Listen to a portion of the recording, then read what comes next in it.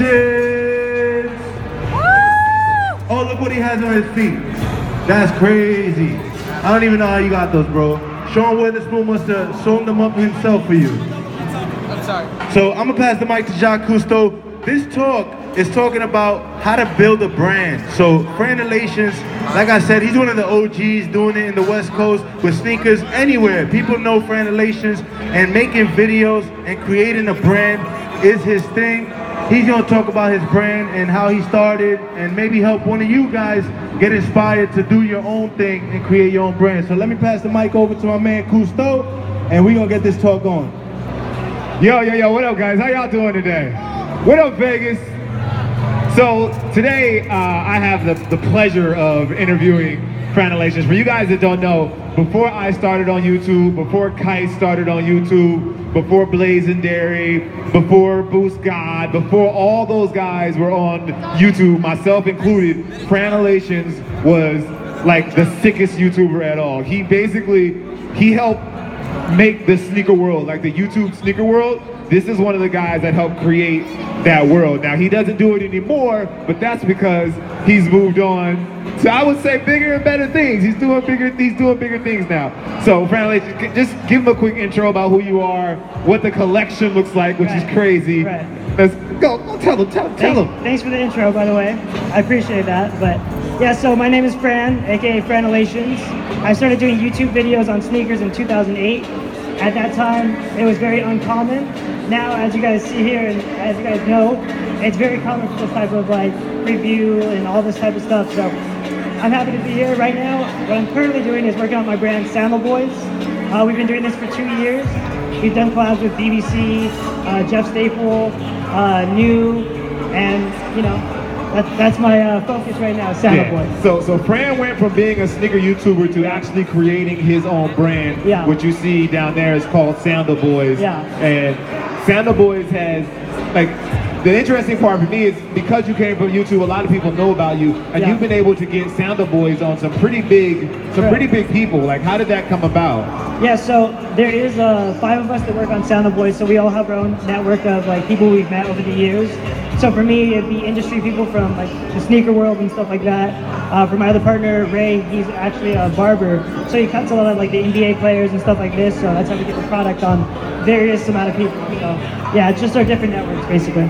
So if one of these people is like, hey, I want to start my own brand, Yeah. like, what was that? What was that process like? How did it, how did Sandalboyz start?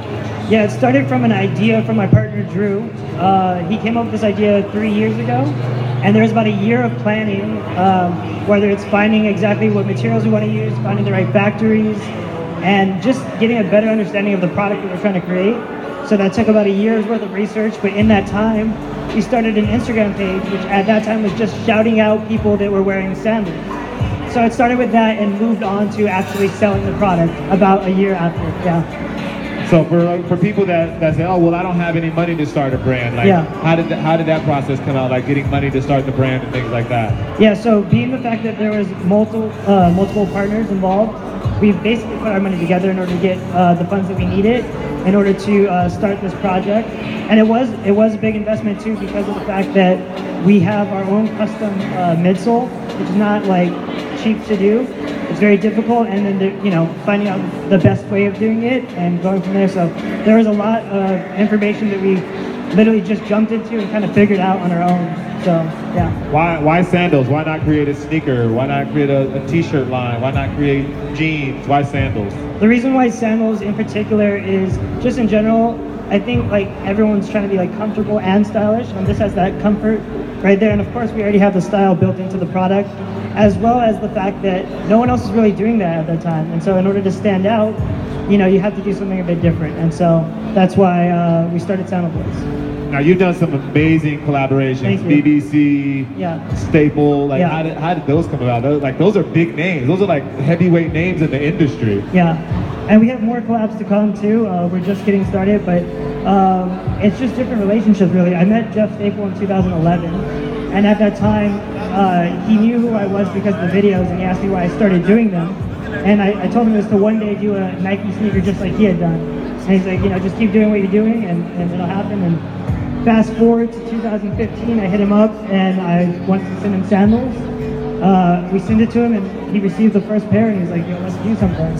And so it was him uh, who mentioned it, and the conversation started there, and that's that's how it happened. And then with BBC, uh, we actually met them at ComplexCon, so you know that shows the importance of going to you know events like that, networking, meeting new people, and that's how we made that connection. And a year after that, the product was uh, on shelf. So yeah. Amazing. And so what's the what's the future for for Sandalboyz? Where where's Sandalboyz going from here? Next year, a lot more releases than what we've done over these past two years. Brand new types of products. We've already recently launched rugs as well. So just diversifying that product. It won't be just sandals. It'll be other stuff, but not really ready to announce that at this time. So stay tuned. Uh, you can follow us at Sandalboyz on Instagram to keep up to date on that. And yeah. So if any of these guys, anybody here, they wanted to create their own brand, they wanted to start their own brand, what would be the advice you would give them? you got to have a solid team. I, I would not have been able to do any of this stuff on my own, and vice versa for my partners. So it's about finding a solid team of people that are just as passionate, willing to work just as hard, and who are just as focused on that same goal. Because you're not going to be able to do it by yourself. So yeah. Thank you, Fran. For those guys that, if you want to know more about Fran, you can find Fran I actually have some sandals too that I'm going to go ahead and toss out. Oh, okay. You guys are sandal, sandal. We If, some, if anyone wants some free sandals, just head to the stage. yeah, we got some free sandals. We're gonna give out some Sandalboyz. Make sure.